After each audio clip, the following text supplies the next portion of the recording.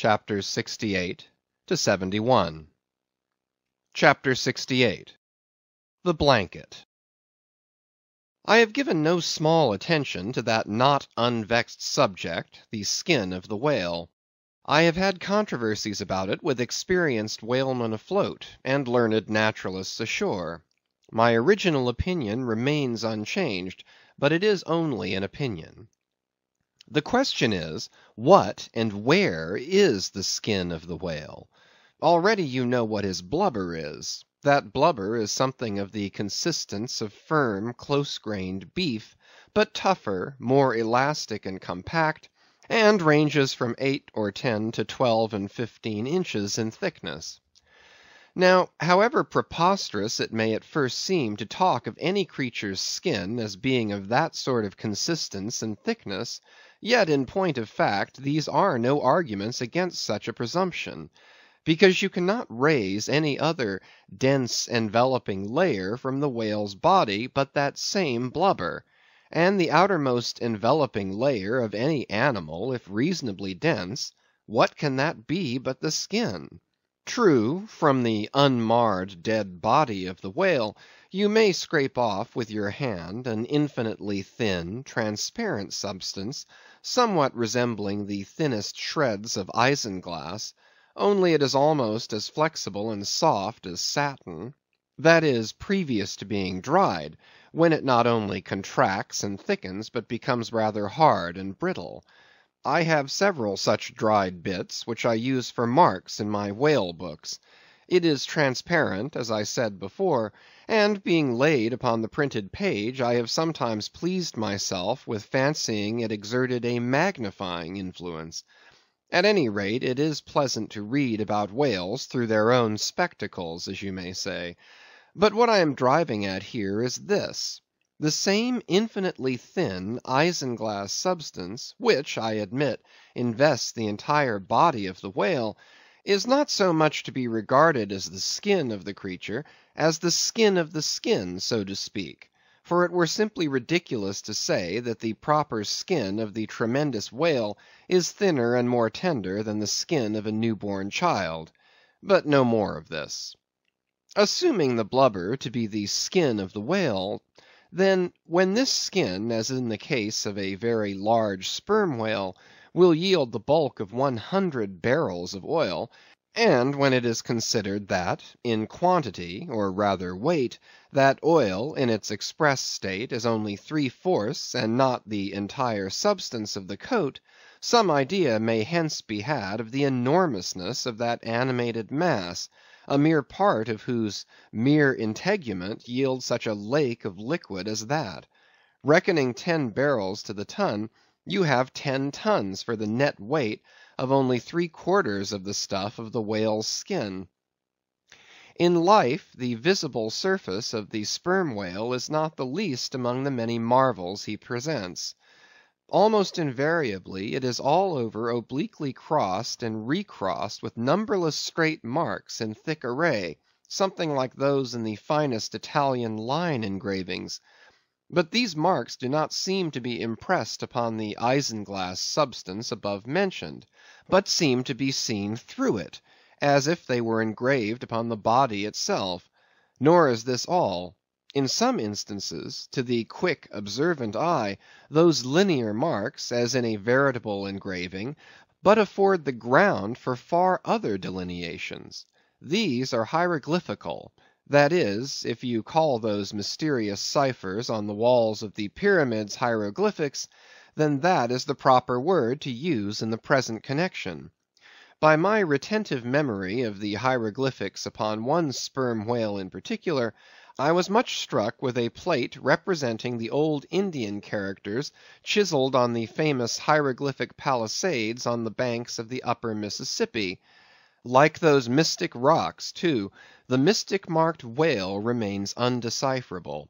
This allusion to the Indian rocks reminds me of another thing. Besides all the other phenomena which the exterior of the sperm whale presents, he not seldom displays the back, and more especially his flanks, effaced in great part of the regular linear appearance by reason of numerous rude scratches altogether of an irregular, random aspect. I should say that those New England rocks on the sea coast, which Agassiz imagines to bear the marks of violent scraping contact with vast floating icebergs; I should say that those rocks must not a little resemble the sperm whale in this particular. It also seems to me that such scratches in the whale are probably made by hostile contact with other whales for I have most remarked them in the large full grown bulls of the species. A word or two more concerning this matter of the skin or blubber of the whale. It has already been said that it is stripped from him in long pieces, called blanket pieces. Like most sea terms, this one is very happy and significant; for the whale is indeed wrapped up in his blubber as in a real blanket or counterpane, or still better, an Indian poncho slipped over his head and skirting his extremity. It is by reason of this cosy blanketing of his body that the whale is enabled to keep himself comfortable in all weathers, in all seas, times, and tides. What would become of a Greenland whale, say, in those shuddering icy seas of the north, if unsupplied with his cosy surtout? True, other fish are found exceedingly brisk in those hyperborean waters; but these, be it observed, are your cold blooded, lungless fish, whose very bellies are refrigerators; creatures that warm themselves under the lee of an iceberg, as a traveller in winter would bask before an inn fire; whereas, like man, the whale has lungs and warm blood. Freeze his blood, and he dies. How wonderful it is, then, except after explanation, that this great monster, to whom corporeal warmth is as indispensable as it is to man; how wonderful that he should be found at home, immersed to his lips for life in those Arctic waters, where, when seamen fall overboard, they are sometimes found months afterwards, perpendicularly frozen into the hearts of fields of ice, as a fly is found glued in amber. But more surprising it is to know, as has been proved by experiment, that the blood of a Polar whale is warmer than that of a Borneo negro in summer. It does seem to me that herein we see the rare virtue of a strong individual vitality, and the rare virtue of thick walls, and the rare virtue of interior spaciousness. Oh, man! admire and model thyself after the whale! Do thou, too, remain warm among ice. Do thou, too, live in this world without being of it. Be cool at the equator; keep thy blood fluid at the pole. Like the great dome of St. Peter's, and like the great whale, retain, O man, in all seasons, a temperature of thine own. But how easy and how hopeless to teach these fine things! Of erections, how few are domed like St. Peter's; of creatures, how few vast as the whale. CHAPTER 69. The Funeral. Haul in the chains! Let the carcase go astern!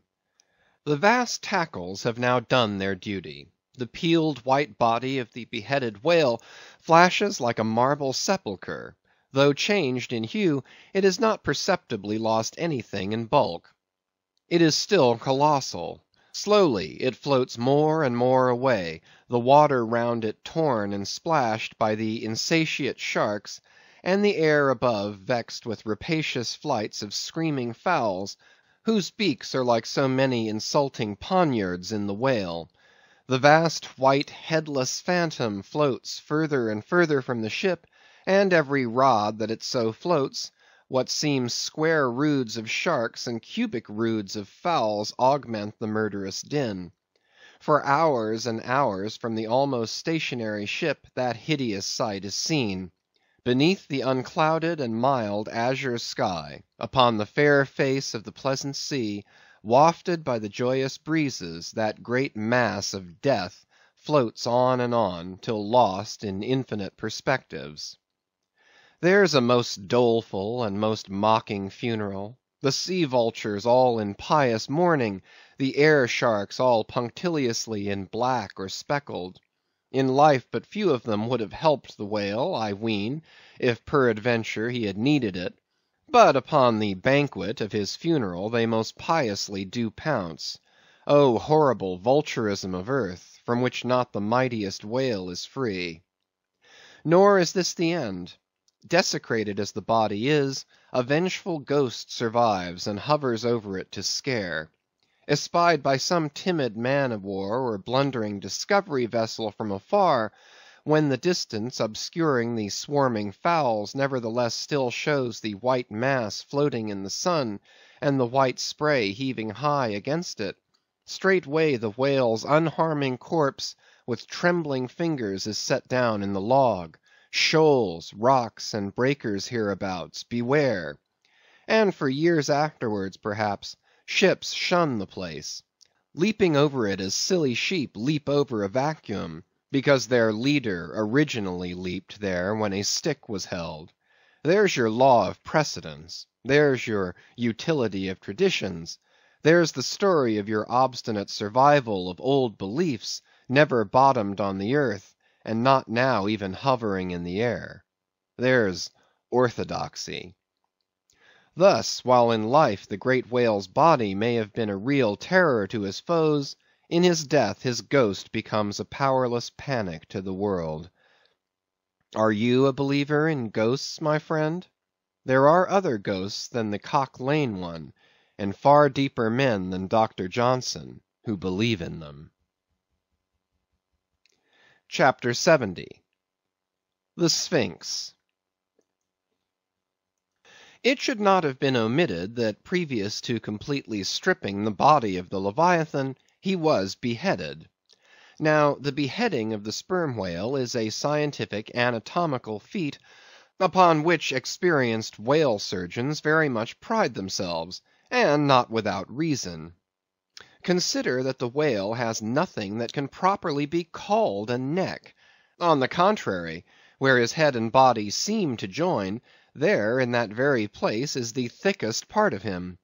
Remember also that the surgeon must operate from above, some eight or ten feet intervening between him and his subject, and that subject almost hidden in a discolored, rolling, and oftentimes tumultuous and bursting sea.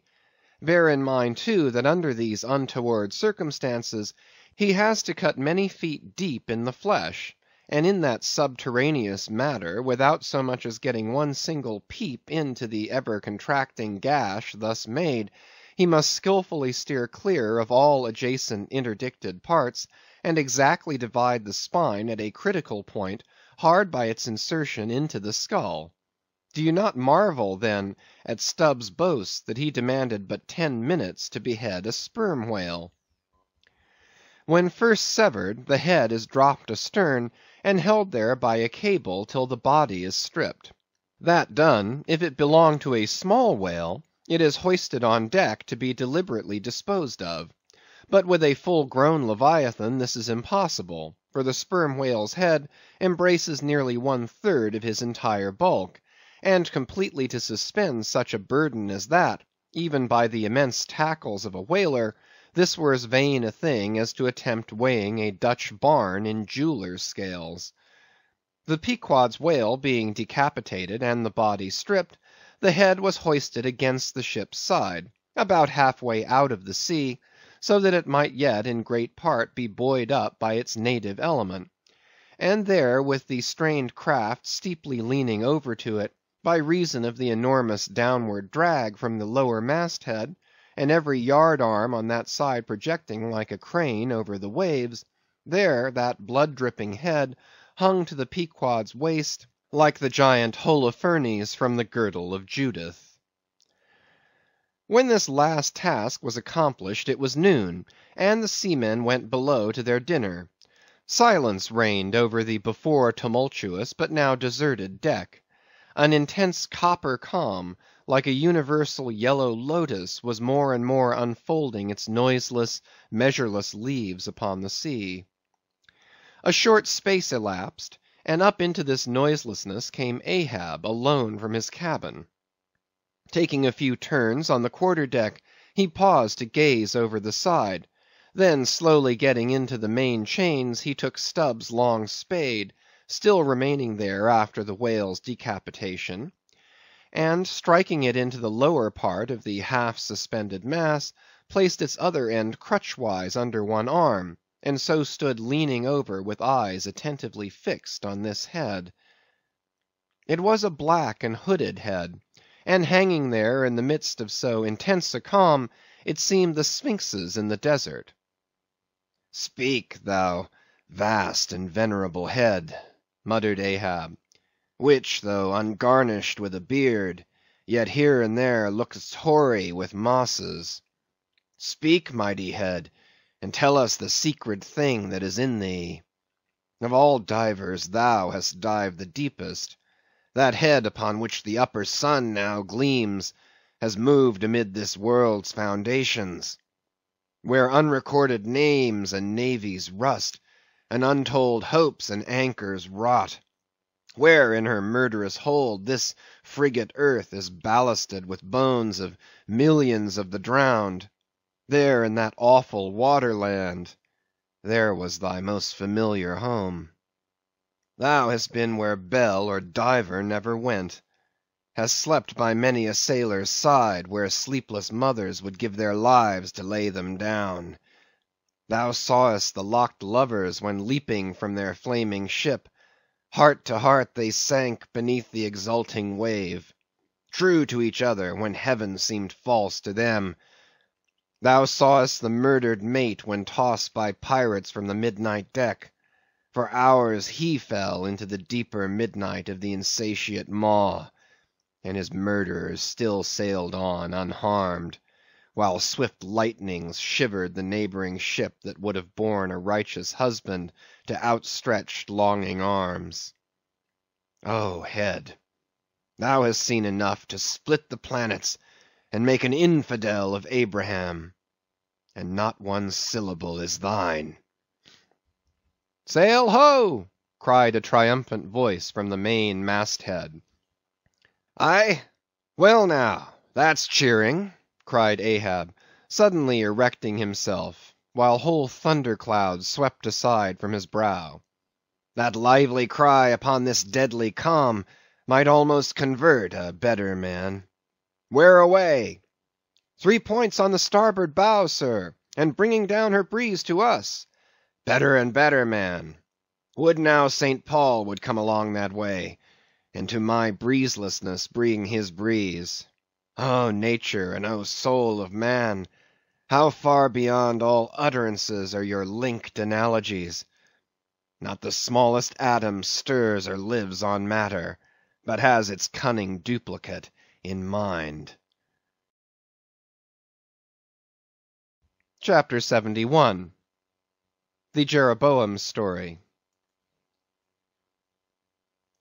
Hand in hand, ship and breeze blew on; but the breeze came faster than the ship, and soon the Pequod began to rock.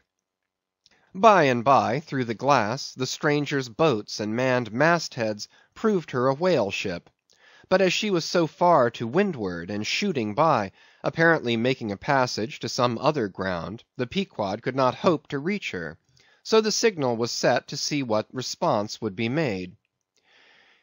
Here be it said that like the vessels of military marines, the ships of the American whale fleet have each a private signal, all which signals being collected in a book with the names of the respective vessels attached, and every captain provided with it.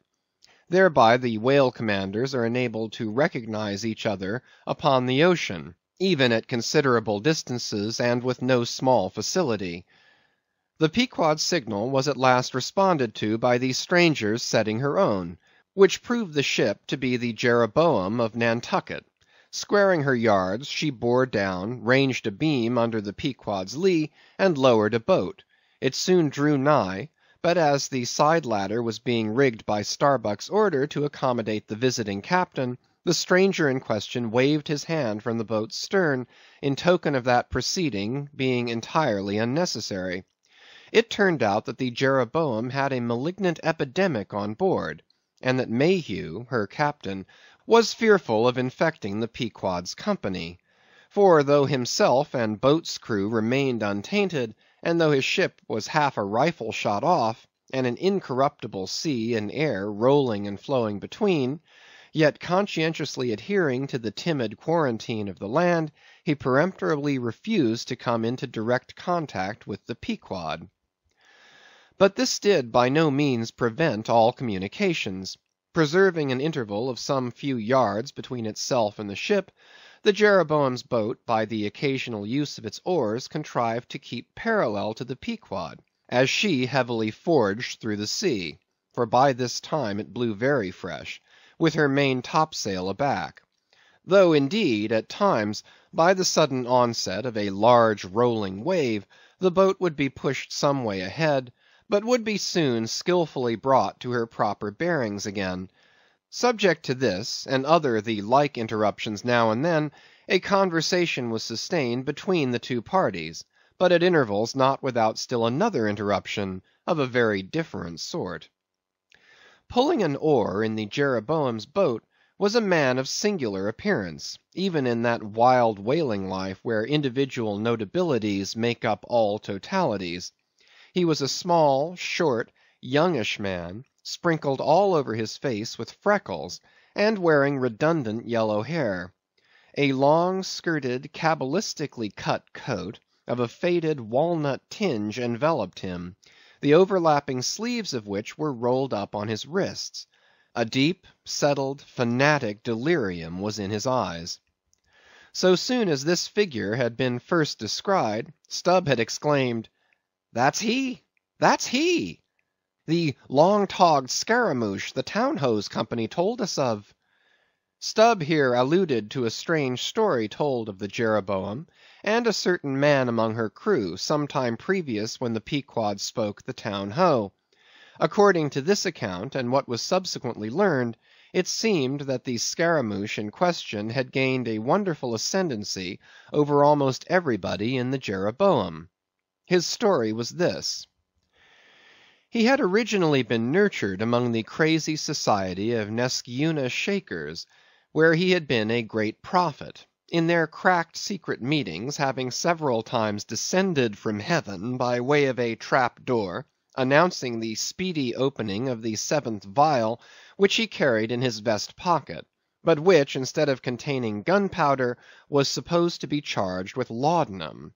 A strange apostolic whim having seized him, he had left Neskyeuna for Nantucket, where with that cunning peculiar to craziness, he assumed a steady, common sense exterior, and offered himself as a green hand candidate for the Jeroboam's whaling voyage. They engaged him, but straightway upon the ship's getting out of sight of land, his insanity broke out in a freshet. He announced himself as the Archangel Gabriel, and commanded the captain to jump overboard. He published his manifesto, whereby he set himself forth as the deliverer of the isles of the sea, and vicar general of all Oceanica. The unflinching earnestness with which he declared these things, the dark, daring play of his sleepless, excited imagination, and all the preternatural terrors of real delirium, united to invest this Gabriel in the minds of the majority of the ignorant crew with an atmosphere of sacredness. Moreover, they were afraid of him. As such a man, however, was not of much practical use in the ship, especially as he refused to work except when he pleased, the incredulous captain would fain have been rid of him; but apprised that that individual's intention was to land him in the first convenient port, the Archangel forthwith opened all his seals and vials devoting the ship and all hands to unconditional perdition, in case this intention was carried out.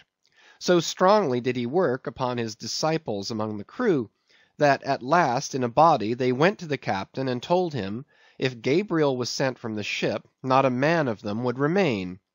He was therefore forced to relinquish his plan.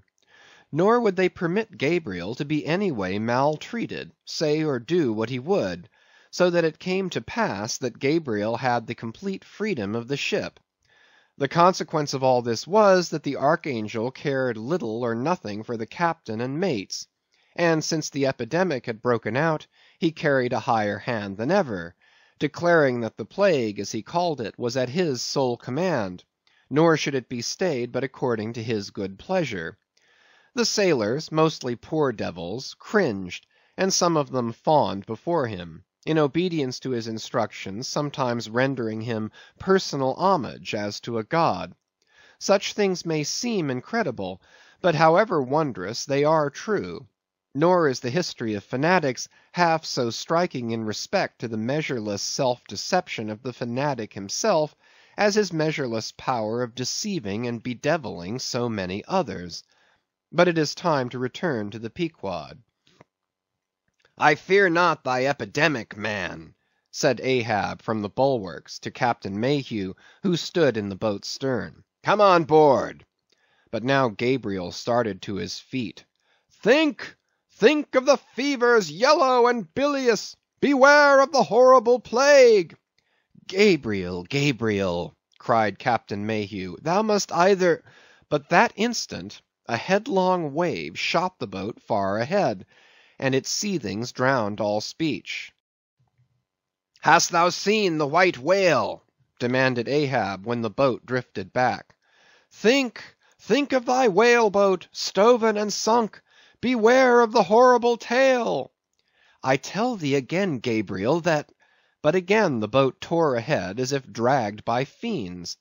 Nothing was said for some moments, while a succession of riotous waves rolled by, which by one of those occasional caprices of the seas, were tumbling, not heaving it. Meantime the hoisted sperm whale's head jogged about very violently, and Gabriel was seen eyeing it with rather more apprehensiveness than his archangel nature seemed to warrant. When this interlude was over, Captain Mayhew began a dark story concerning Moby Dick; not, however, without frequent interruptions from Gabriel, whenever his name was mentioned, and the crazy sea that seemed leagued with him. It seemed that the Jeroboam had not long left home, when upon speaking a whale ship, her people were reliably apprised of the existence of Moby Dick, and the havoc he had made. Greedily sucking in this intelligence, Gabriel solemnly warned the captain against attacking the white whale, in case the monster should be seen; in his gibbering insanity, pronouncing the white whale to be no less a being than the Shaker God incarnated, the Shakers receiving the Bible. But when some year or two afterward Moby Dick was fairly sighted from the mast heads, Macey, the chief mate, burned with ardor to encounter him and the captain himself being not unwilling to let him have the opportunity, despite all the archangel's denunciations and forewarnings, Macey succeeded in persuading five men to man his boat.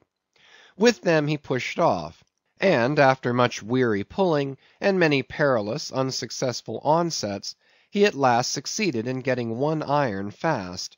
Meantime Gabriel, ascending to the main royal mast head, was tossing one arm in frantic gestures, and hurling forth prophecies of speedy doom to the sacrilegious assailants of his divinity. Now, while Macey, the mate, was standing up in his boat's bow, and with all the reckless energy of his tribe was venting his wild exclamations upon the whale, and essaying to get a fair chance for his poised lance, Lo! a broad white shadow rose from the sea, by its quick fanning motion temporarily taking the breath out of the bodies of the oarsmen.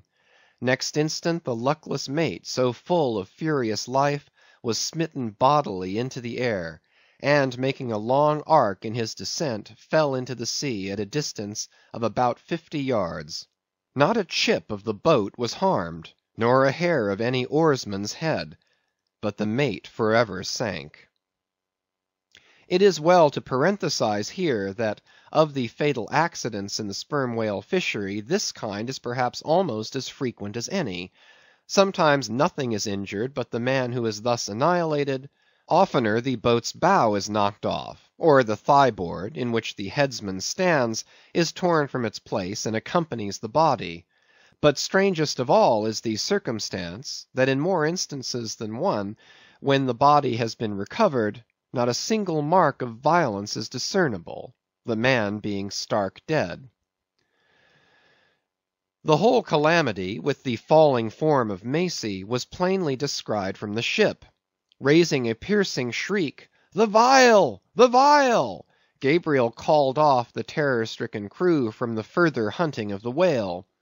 This terrible event clothed the archangel with added influence, because his credulous disciples believed that he had specifically foreannounced it, instead of only making a general prophecy, which any one might have done, and so have chanced to hit one of many marks in the wide margin allowed.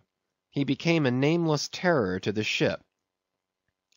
Mayhew having concluded his narration, Ahab put such questions to him that the stranger captain could not forbear inquiring whether he intended to hunt the white whale if opportunity should offer.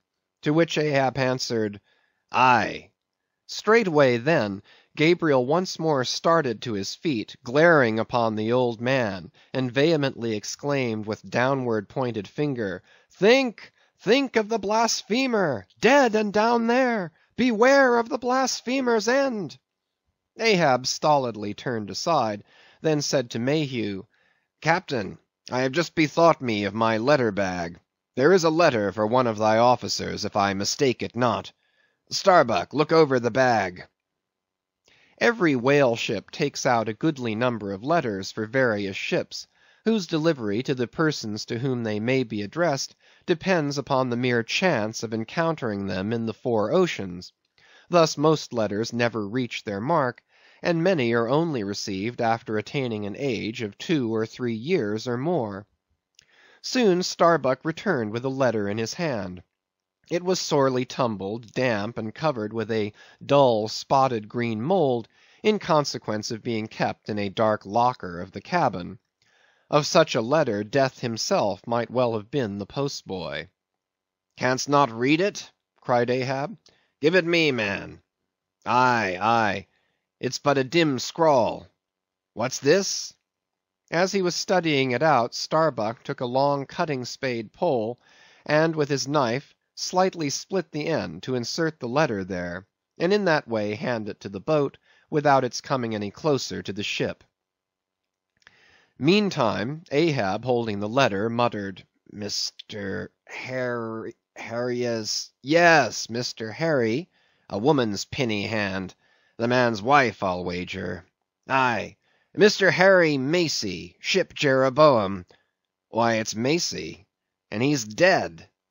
"Poor fellow, poor fellow, and from his wife," sighed Mayhew. "But let me have it." "Nay, keep it thyself cried Gabriel to Ahab. "Thou art soon going that way." "Curses throttle thee!" yelled Ahab. "Captain Mayhew, stand by now to receive it."